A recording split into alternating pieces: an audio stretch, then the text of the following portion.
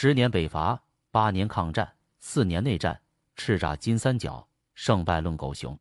这是当年割据缅北国民党残军打出的豪言壮语。关于缅北延续到今天的局面，要从两个方面讲起，一个是国民党残兵系，一个是缅共系。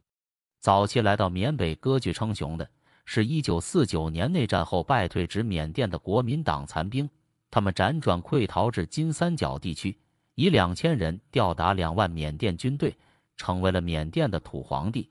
掀起一场场腥风血雨，称霸当地数十年。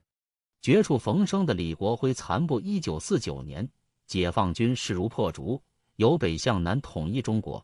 老蒋退守台湾，在云南的国民党军队节节败退，仓皇四处奔逃。第八军七百零九团团长李国辉率领的七百余人不愿投降解放军，他决定冒险带着部下越过边境逃往缅甸。李国辉是个爱兵如子的长官，所以到了最后关头，还是有很多人愿意追随他出走异国。李国辉具有不错的军事指挥能力，为人又十分谨慎。他率部潜入缅甸时，就制定了周密的路线计划。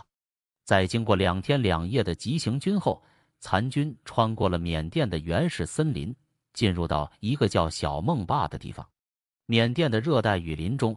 李国辉始终保持警惕，派遣侦察兵开路并查探情况。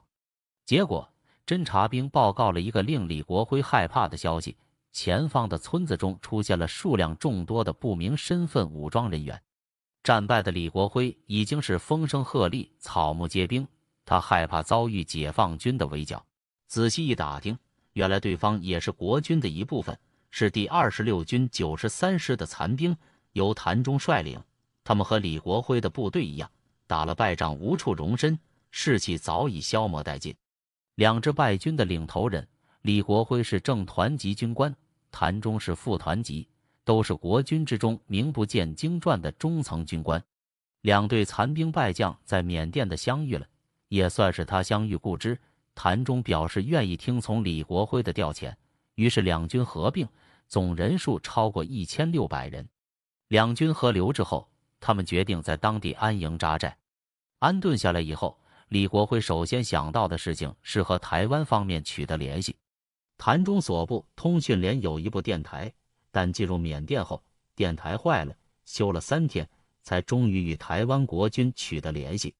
然而，台湾国民党方面回复：党国退守台湾，已无力支援，你不自谋出路。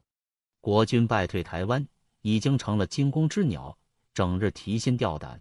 自顾不暇，又怎么会顾得上这缅甸这帮残兵败将的死活呢？仅汇来泰铢五万元，这相当于打发叫花子了。自谋出路意味着台湾不管这支死里逃生的部队了。在孤立无援、缺少粮食、枪支弹药的缅甸，一旦发生战事，他们将死无葬身之地。李国辉直到此刻才明白了什么是鞭长莫及，但是怨天尤人于事无补。在清点残兵败将以及武器装备后，李国辉、谭忠商量决定将总部设在小孟坝、孟果镇、孟岩各驻守一个团。李国辉意识到他们需要一个身份标识，于是打出国军反攻复兴部队的旗号。一时间，败退到缅甸的残兵都纷纷加入了李国辉的队伍。只用了两个月时间，李国辉就快速扩充到了三千五百人。他们便在缅甸北部安了家，并且因为国军曾派遣远征军进入缅作战，所以缅甸民众对他们的感官还是很好的。为了能彻底在这里扎下根来，李国辉命令手下士兵与当地百姓通婚，而自己则是和地头蛇搞好关系。而这些举动便是为了将当地百姓和自己捆绑到一起。人员扩充了，但也得有手段养活这群等着吃饭的溃兵。李国辉首先想到的是自给自足，他命令有务农经验的手下去营房附近的田埂上开荒种地，种植急需的粮食以及蔬菜。有人有粮，还得有枪，而军火是最烧钱的。养活这么多士兵，光靠种地完全解决不了问题。李国辉思考再三，决定帮当地的毒贩做保镖。只要把一个鸦片贩子的货物从缅北安全的送到缅泰边境。那么残军就可以领一大笔赏钱。当地的毒品产业最早起源于1824年英国侵略缅甸时期，英国人带来了罂粟这种罪恶的种子，并在缅甸大范围开启罂粟种植业。而缅北地区地形复杂，私人武装横行，是毒贩们的天堂。而李国辉的部队凭借其实力和装备的优势，为毒贩们提供保护，并获得丰厚的保护费。渐渐的，李国辉发现，单纯做保镖赚不了大钱。士兵越来越多，吃穿用度开支越来越大，他忙活这些生意远远不够开销，他便有了更大的胃口，那就是种植鸦片，而这便是金三角毒枭军阀的开始。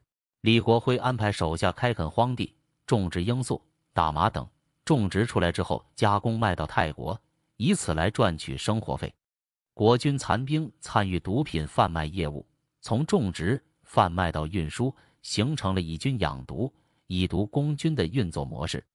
随着部队的壮大，李国辉成为金三角地区的一方军阀。缅甸政府见境内来了一支军队，顿时大惊失色，立即让人调查他们的来历。在得知这些人是国军溃兵后，便多次下令驱逐。国军虽然在内战中被解放军打得落花流水，但在缅甸却还是可以横着走的。完全不理会缅甸政府的逐客令，恼羞成怒的缅甸政府立刻派兵进攻李国辉部队。没想到这一仗不但把缅甸政府的脸面打丢了，而且长了李国辉的威风。一九五零年五月，缅甸政府增兵六千人进入缅北山区，控制多处要点，又炮兵三个连、战车一个连，派空军连日空运武器至景栋地区，并派员劝降李国辉。李国辉对缅军嗤之以鼻，在谈判无果后，缅甸政府军派出二战时的古董轰炸机轰炸残军的军营。由于缺乏防空武器，李国辉指挥部队退入原始森林防守。缅军以为李国辉害怕了，大喜过望，立刻派出一万大军进森林搜捕，希望把国军一网打尽。没想到缅军中了李国辉的圈套，残军虽然被解放军打得溃不成军。但是他们都是经历过入缅作战的远征军老兵，丛林作战的经验比缅甸本地人还要高上不少。天黑过后，只听李国辉一声令下，士兵们往步枪上刺刀，乘着夜色的掩护，反击攻入防守松懈的缅军阵地。缅军一个连大概一百多人被国军全歼。六月二十八日，李国辉下令对缅军发起总攻。而他们的目标就是缅军东线的团司令部。如果掐断敌人的指挥链，那么他们就可以躲避敌人搜捕队，尽快撤往泰缅边境。由四百多位士兵组成敢死队，突袭缅军布置在突围必经之路的炮兵阵地。在战斗开始之前，李国辉向敢死队全体官兵发表了一番重要讲话。这一仗关系到复兴部队的生死存亡，如果败了，我们就死无葬身之地。如果胜了，我们才有幸存的希望。我等着你们的好消息。深夜下起暴雨，全体官兵见状无不难过落泪。但是在求生的驱使下，他们甘愿一搏。残兵们乘着夜色摸上了缅军的炮兵阵地，捅死了十多个直接靠在大炮旁边休息的炮兵，俘虏了二百零五名放弃抵抗的缅军，缴获了十尊重型火炮，大获全胜。残军打得虎虎生威。把驻守小孟棒的缅军打得哭爹喊娘，缅空军司令亲率军机三架低飞扫射，其座机却被国民党军机枪击落。缅陆军总司令奈温将军自仰光飞景斗，亲任总指挥，仍未奏效。缅军伤亡遭俘者颇多，枪炮、汽车也损失惨重。国军残兵重新夺回了被缅军占领的小孟棒。这场战役以国军死伤一千人为代价，打死缅军一千五百多人，打伤缅军三千多人，俘虏三百零二人。见残军这么难对付，缅军只好拉下脸来同残军展开谈判。缅军开出的条件为维护缅甸主权，只要残军释放俘虏，离开大其力和公路沿线，将允许残军居住。缅方通知地方政府协助公粮。国民党残军经过讨论之后，决定同意缅军的条件。在送回俘虏后，换取了暂时在缅甸居住的权利。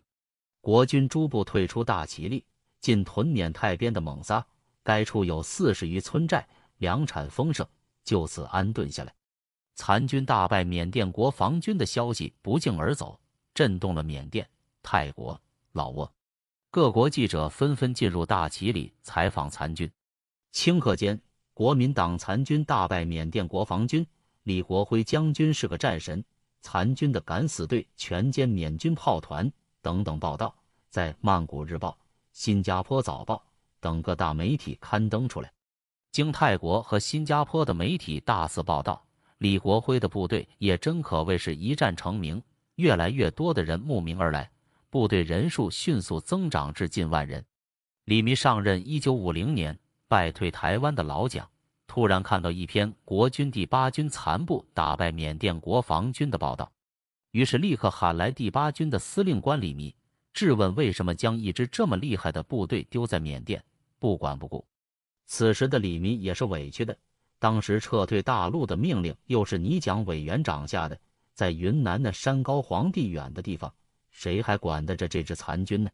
李弥，国民党陆军中将，他的作战经历丰富，年轻时在黄埔军校深造，和林彪是同班同学。抗日战争时期，李弥在战场上确实表现优异。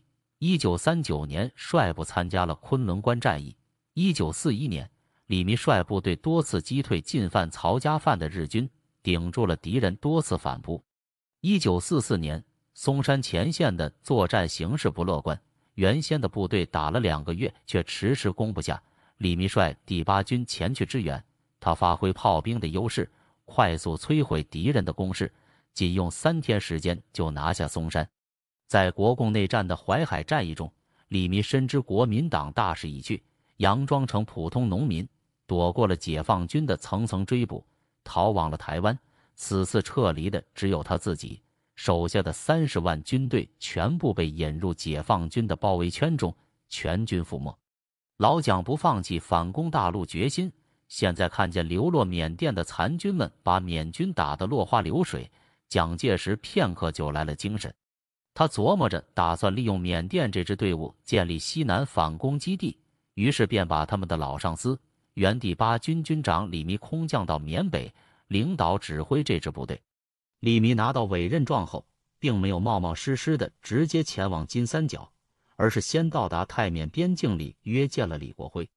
因为李国辉在缅北占山为王，李弥不确定自己这个光杆司令还能不能指挥动曾经的下属。但此次会面让李弥欣喜万分，他的担心纯粹多余了。李国辉是职业军人。也是个老实人，他出身于黄埔军校，国军的军事条例他还是遵守的。当场表示愿意接受老上司的领导。就这样，李弥到达缅甸后，顺利接手了李国辉的指挥权。新官上任，李弥为表示大方，帮助这支残军争取到台湾方面每月发八万至十四万泰铢做补给，还以私款十万美金作为军饷，这当时是一笔巨资。然后。他搞了一次大阅兵，把当地所有土司叫到一起，在他们面前炫耀了一下国军的能力，让一众土司觉得李李弥的十分厉害，纷纷寻求保护。李弥询问李国辉：“没有党国援助期间，你不都是怎么生存过来的？”李国辉指着绿油油一片罂粟花植株：“就是靠这些，这些罂粟每一颗都是黄金。”李国辉说：“台湾虽然利于固守，但难于发展。”不如缅甸的发展空间大，这里是可以谋图霸业的好地方。李弥对李国辉的想法十分认可，他点点头，若有所思。本来他们是职业军人，一开始是不屑于贩毒的，但在生存面前，他们变得没有了底线。李弥打算沿用李国辉的政策，以毒养军，积蓄力量，以图谋大业。金三角地处缅甸、泰国、老挝三国交界处。中心位置在大其里，此地虽然面积不大，但十分肥沃，曾是一处盛产粮食的宝地。英国人统治缅甸时期，开始在这里种植罂粟，将金三角变成以盛产鸦片获取巨额利润的地区。由于有了国民党军队武装押运的保护，鸦片的贸易量一下子突飞猛进，该地区中毒产毒，因此也进入一个高峰期。其鸦片年产量在五十年代末已达千吨以上，占当时世界非法鸦片年生产总量的百分之五十。李弥将鸦片种植业做得风生水起，很快就将整个缅甸地区的毒品生意全部都归于自己的手下。各地土司对李弥的队伍也采取拉拢态度，但同时提出了两个要求。一个是李弥需要帮助他们走私贩毒，一个是他们与缅甸政府武装发生冲突时，李弥需要提供军事援助。李弥本来就打算做鸦片生意来维持军需，自然不会拒绝，欣然答应。以后，两者之间迅速形成同盟。李弥还在湄公河西岸峡谷中修了一个简易机场——江腊机场。台湾方面通过空投和绕道泰国转运，给李弥提供弹药和军饷。后来，蒋经国亲自飞到缅甸视察这支部队，并且给这里的残部带来了许多武器装备。为了帮助残军在缅甸彻底站稳脚跟，蒋介石请求美国 CIA 帮忙训练缅甸残军，同时 CIA 每年给残军部队二十万美元的活动经费，用于购买军火以及补给品。在得到装备后，李弥更是如虎添翼，在吞并了附近的土匪和土司武装。在他们的势力达到鼎盛时期，活动范围几乎是整个湄公河流域。缅北国军声势最强的时候，拥兵三万余人，势力范围扩大到整个金三角约二十万平方公里，面积约为台湾五倍多。李弥还在蒙萨开办了一所反共抗俄军政大学，轮训下级军官，在东南亚招收学员，学员最多是达两千人。毒枭坤沙成为第一批学员中的一名。从此以后，金三角这里的生意便朝着军事化、集团化的方向发展，而李弥俨然成了金三角一带的土皇帝。至此，李弥彻生出了奢靡骄纵之心，开始长期脱离军队驻扎地，前往泰国曼谷，过上了纸醉金迷的生活，将军队具体执行任务的沉重工作全都推给了李国辉和谭仲。蒋介石亲眼目睹了李弥取得的巨大成绩，顿时信心倍增。于是，蠢蠢欲动的老蒋给李弥下达了一条命令：反攻大陆。一九五零年，朝鲜战争爆发，在朝鲜战争日益白热化之际，原先鲜为人知的这支缅甸国军残部，成了美国政府手中的一枚棋子，受到了前所未有的重视和支持。美国认为利用这支缅甸残兵是牵制中国一个不错的选项，表示愿意提供武器装备和经济援助，但前提是李弥需要攻入中国境内后，方可对其进行空投补给。李弥早已习惯在缅甸当土皇帝，不想再替老蒋卖命，他只是出工不出力，给部下李国辉下了命令，绝对不能和解放军硬刚。李弥意味深长地对李国辉说：“你们反攻大陆。”能打就打，不行就退，千万要保存实力，减少伤亡。李国辉也明白李弥的意思，所以只是在我国边境进行骚扰，并且一旦在引起解放军注意之后，就立马全速撤兵。一九五一年五月，李弥所部从缅北分南北两路向云南推进，发起反攻大陆的军事行动。此后两个月间，李弥军一度占领云南边境的镇康、双江。耿马、孟定、沧源、澜沧、宁江、南桥等八个县治，对于国军残部在云南的反攻活动，新中国政府给予高度警惕和强烈谴责。李弥再三确认解放军主力不在云南，就马上赶到云南边境，搞了一场大捷庆祝仪式，并要求记者一同前往，目的是给蒋介石交差。美国见国民党形势大好。立刻将武器运到李弥的手中。李弥收到武器后，马上命令李国辉将军队撤回来。不仅军队毫发无伤，还白捡了美军的补给。不久后，解放军腾出手，部队来到了云南边境。这支国军残部孤军深入，实力有限，在解放军发动反击后，很快便全线溃退。李弥也明白了自己几斤几两，打缅军还行。和解放军打那是飞蛾扑火，自取灭亡。于是李弥打消了反攻的想法，准备安心的在缅甸发展自己的势力。俗话说：“卧榻之侧岂容他人酣睡。”国军残部在缅甸的军事存在给缅甸政府造成极大威胁。出于维护国家主权的需要，又迫于反对党的压力，缅甸政府下定决心将国军残部驱逐出境，打败缅军，成为缅甸王。缅甸时任总理吴努看见李弥反攻大陆，偷鸡不成蚀把米，刚刚打了败仗，正是清剿他的时候，便集结几万大军。想要一举将残军赶出缅北，听闻缅军在集结兵力，李弥拍二气：“老子打不过北边也就算了，正生着闷气，这小小的缅甸敢找上门，正好找他出一口恶气。”国军部队虽然是残兵败将，但经过八年抗战和四年解放战争的锤炼，也是非常能打的。这个情况，缅甸政府大概也知道的，所以缅甸政府自觉心里没有底。便决定拉上印度做个帮手。缅军除了出动一万多国防军外，还花重金请了四千印度雇佣军来助战，加上缅北土司的部队，缅军总兵力达三万人。此战远在曼谷的李弥并未直接参与指挥。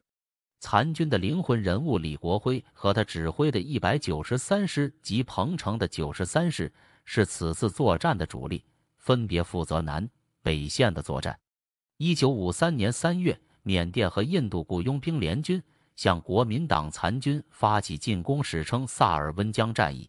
当时，国民党残军为了经营鸦片生意，他们分散在金三角各个地方，忙着收鸦片税，真正投入作战的人数并不多，形势对残军极为不利。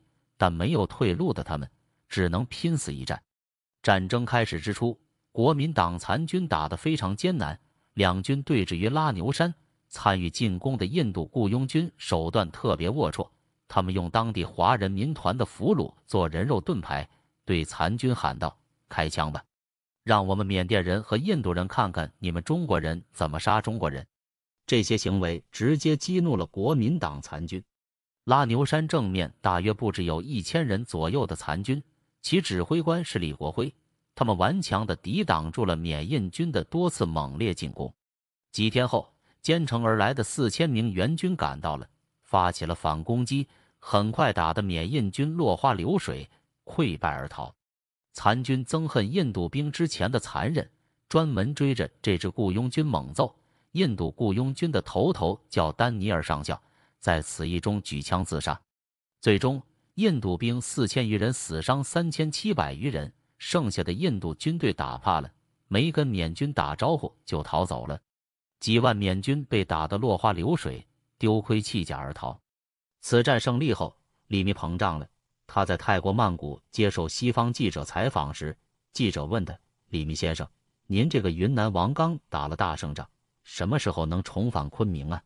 李密大笑：“我要做云南王不大容易，要做缅甸王易如反掌，就看我想不想做了。”此语一出，缅甸舆论哗然，首都仰光学生上街游行，要求战败的总理吴努和国防部长吴奈温下台，撤回台湾。一九五三年，老挝政府获知国民党残兵打算用一千多人的部队护送三万公斤毒品越过缅老边境，在老挝和国际毒枭交易。国民党残军的行为是实实在在的挑衅老挝国家主权，为了报复。老挝下令派出六架战斗机扫射、轰炸入境的残军部队，在老挝空军的攻击下，五百人的押运部队溃不成军，丢下押运的全部毒品往缅北方向逃窜。这个事件在世界引起轰动。残军盘踞在自己国家北部，缅甸政府也很难受，但是自己又没有能力能将他们剿灭，于是缅甸联合老挝向联合国抗议。控诉蒋介石派军队霸占他们的领土，要求台湾限期撤出驻扎在缅甸境内的部队。第七届联合国大会作出决议，谴责外国军队对缅甸领土主权的侵犯，要求其必须放下武器，接受收容或立刻离开缅境。与此同时，蒋介石也觉得李弥伟大不掉，不好控制，而且暴露了他想当缅甸王的野心，这也是老蒋忌惮的。眼看这事儿给闹大了，在国际舆论的压力下，老蒋只好命令李弥撤军返回台湾，防止他再在缅北惹是生非。但此时的李弥早已经习惯了在曼谷的奢靡生活，自然不愿意重新回台湾过那种寄人篱下的日子。李密表面上执行蒋介石命令，自己率先返回台湾复命，同时暗中给李国辉和谭忠下令，让他们只撤走老弱病残回台湾，将主力部队继续留在金三角。李密以为自己的操作很精明，可以轻松瞒过蒋介石，但他哪里会想到，蒋介石早就留了一手。残军之中，建立这支队伍的李国辉和谭忠功劳极大。却慢慢被排挤出权力中心，逐渐沦为无人问津的中下层军官，不仅得不到晋升机会，也拿不到好处，还要替李弥守在深山老林中流血流汗，眼巴巴看着李弥升官发财享受。李国辉和谭忠则根本不愿意继续给李弥卖命，直接倒向了蒋介石，同意率部返回台湾。一九五三年十一月到一九五四年六月。国军残部从缅甸的撤军行动得以分三阶段进行。据台湾方面统计，先后有六千五百七十二人撤到台湾，其中官兵五千六百九十九人，家属八百七十三人。在缅北叱咤风云、不可一世的李弥也被迫返回了台湾，至此一代枭雄落寞了。而李弥回到台湾后，随即受到形同软禁的待遇，余生再也没有离开过台湾。撤回台湾的李国辉也被台湾军事法庭判了一个倒卖军火的罪行。这个判决让国民党内部很多人看不下去了，纷纷找到了老蒋求情。可能觉得事情做得太过，蒋介石给了李国辉一个特赦。此后，这位金三角毒品王国的开山鼻祖再也没有离开过台湾。李弥从此以后失去了蒋介石的器重，余生碌碌无为。最终死于台湾，李国辉等撤回台湾的残军官兵，结局也都十分凄惨。李国辉在台湾做起了小生意，勉强度日；其他国军士兵也是生活在社会底层，生计都难以维持。六太缅孤军在撤军实施过程中，老蒋仍设法将部分国军残部留在了缅甸境内。柳元林被任命为总指挥。并且在日后成为活跃在金三角地区的一支从事毒品活动的军阀。柳元林把剩下没有撤退的国军整编，经过几年的发展，又重新变回兵力两万多人的规模。这下缅甸政府气炸了，再一次向缅北的国民党残部发起了剿灭战斗。可是缅甸当局并不知道，就算撤走了一个李弥。接替他的国民党将军柳元林依然是很能打的，因此这场战斗的结果也就不言而喻了。短短几天，缅甸军队就惨败了。在接下来几年间，缅军都会跟国军残部干上一仗，但几乎都以失败告终。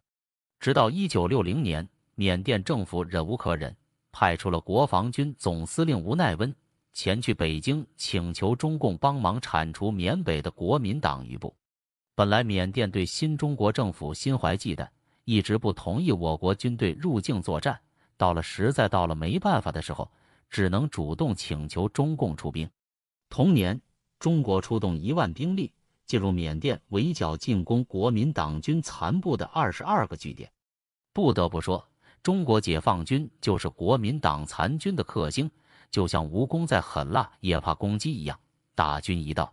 残军就已经被吓得风声鹤唳，中国军队的介入使得残军节节败退。柳元林指挥失败后，也被召回台湾。缅甸也趁机收复了大片领土。在被解放军击溃后，仍有部分残军逃出了缅北，来到泰国北部暂时驻扎。这部分人有三千余人，由国民党将领段锡文统领。他们大部分为云南人，不愿去台湾这一孤岛。段希文不是蒋介石的嫡系，他怕到台湾后不会有出路，因此决定留在缅甸，与三千多云南籍官兵共存亡。他们不再提反攻大陆，不再去做无谓的牺牲，而是要自谋生路，做一个军阀，占山为王。当地的瘴气和瘟疫不断使部队减员，段希文率余部越过缅泰边境，在树林里穿行四天，来到海拔较高。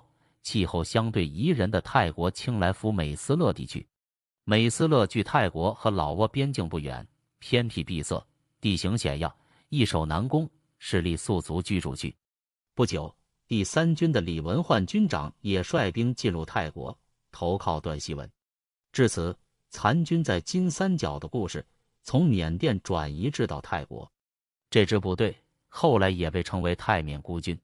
然而，血与泪的故事并没有因此终结。残军相继进入泰国的消息不胫而走，泰国军方吸取缅甸军队的教训，不敢轻举妄动。这期间，蒋介石对段希文这样一支有战斗力的部队脱离台湾领导于心不甘。一九六九年到一九七零年间，台湾多次派人来寻找段希文，商谈恢复补给和接受台湾整编的问题，均遭到段锡文和李文焕的拒绝。段锡文说。台湾不发给我们军饷，不供给枪支弹药，你们还要来管我们？你们太不知趣了！你们以为这是在台湾，还像二十多年以前随便发号施令？记住，这里可是金三角，我们再也不会相信你们，不会相信国民党。台湾高层人物频频来往泰国会见残军，引起了泰国军方的高度关注。对于这支国民党部队，泰国政府打又打不过。赶又赶不走，为此感到十分头痛。但泰国还有另一个心腹大患——巴当反政府游击队。那当属清莱省府的一个村子，地势险要，山路曲折坎坷，树木遮天。巴当反政府游击队有一千多人的武装，泰国军方围剿了二十多年，动用飞机大炮也没有将他们消灭。更夸张的是，这支反政府游击队甚至还攻城略地，绑走县长。诱捕了青莱省省长，还打死了保护省长的警察局局长。泰国全国一片哗然，大骂军方无能。泰国政府明白，国民党残军当下的主要目的是生存，而巴当才是政府的毒瘤，必须先除之而后快。于是，泰国政府便决定招安残军。泰国政府和段希文谈判，开出了一个十分诱人的条件。如果国民党残军帮忙剿灭泰国巴当反政府武装，那么他们可以获得泰国美斯乐的永久居留权，并获得泰北民众自卫队的光荣称号。段希文大喜过望，因为随着漂泊时间的增加，队伍中的老兵越来越渴望安定的生活，而且他们也有了子女。数十年的军旅生涯中，残兵们已经厌倦了战争，为了他们的后代有块立足之地。为了不再流落漂泊，残军们决定帮助泰国政府对付这群难缠的敌人。一九七零年二月，经过周密准备后，段锡文开始往武装分子盘踞的地方进攻。他首先命令手下六百名士兵发起第一轮攻击，但这六百人不是主攻部队，而是吸引武装分子火力的诱饵。由于不知道敌人的底细，见进攻部队使用和太军一样的手段。武装分子放松了警惕，在另一边，段希文部署了二百人的敢死队，用攀岩绳摸进武装分子设在山上的阵地后方。趁武装分子与正面敌人交战时，敢死队把武装分子的阵地捅了个对穿，当场击毙三百五十六位武装分子，俘虏剩余的七百零八位武装分子。在战后打扫战场时，泰国军方对残军的战斗力赞叹不已。因为这仗实在是打得太漂亮了，泰国政府果真说到做到了。就在这场战斗结束后，国民党残军果真获得了泰国的居住证，而那些在围剿行动中被打死打伤的残军家属都领到了泰国政府发放的抚恤金。